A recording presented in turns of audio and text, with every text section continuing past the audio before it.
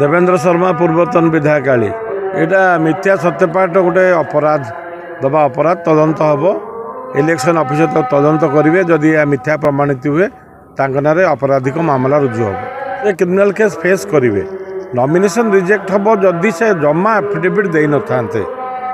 affidavit ଜମା ନ ଦେଇଥିଲେ ନମିନେସନ୍ ରିଜେକ୍ଟ ହୋଇଥାନ୍ତା ଯେହେତୁ ଆଫିଡେଭିଟ୍ ଦେଇଛନ୍ତି ଆମର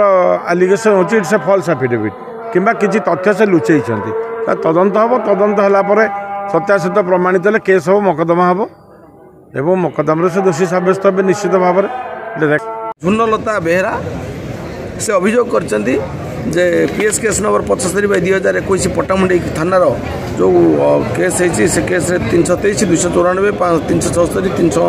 অনাশি পাঁচশো ছ চৌত্রিশ দফার যে মামলা হয়েছে সে মামলার ପ୍ରିୟଦର୍ଶିନୀ ତରେଙ୍କ ସମେତ